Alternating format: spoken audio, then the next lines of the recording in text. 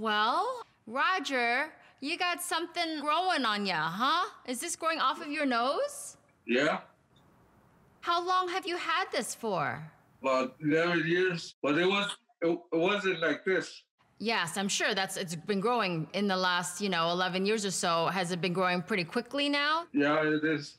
So nice of you, Tori, to help. I mean, do you guys live in the same house or live close by? So No, uh, he doesn't live too far from me, but I know he does struggle, and sometimes people struggle to hear him. And I've known him this way my entire life, you know. But I can understand you. I mean, I, I, I, I guess that's what would happen if you had something over your face. And I will tell you, these days with people wearing masks all the time, I mean, you sound, it's similar, you know, you're muffled like that. Okay, so before you got this, did you get like a, little acne bumps and things like that? I had a zit right here. Ah, that was where it started. That's it. Okay, all right.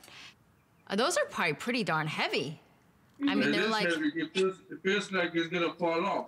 You know, like for example, a maybe like a grapefruit might be, or like a large orange would be that size. Is it that same weight, or even a little heavier? Or Like a grapefruit? Yeah. Like a Yeah. grapefruit. it's got to really stretch on you. But this this is pretty Yeah. heavy because it's it's stretching my skin out. Uh, Okay, and so, feels- go ahead. It feels like it's gonna fall off. Okay. Um, one thing that I need to be able to do is see really in detail where it's attached to you, because that really helps me to determine if I can remove this and also how to remove this. And the most ideal situation is if it's only, you know, touching like this part of your nose and the rest of it is grown out. And it sounds like maybe that's the case, but I just am not sure. I mean, like if you could show me, let's start with the top one maybe and slowly like lift up and move close to the camera. So get really close to Oh, okay, those are two- his two nostrils right there, right? Yes. Okay, I see now.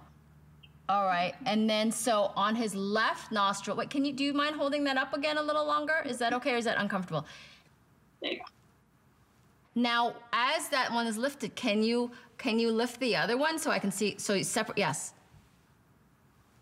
Okay. Okay. All right.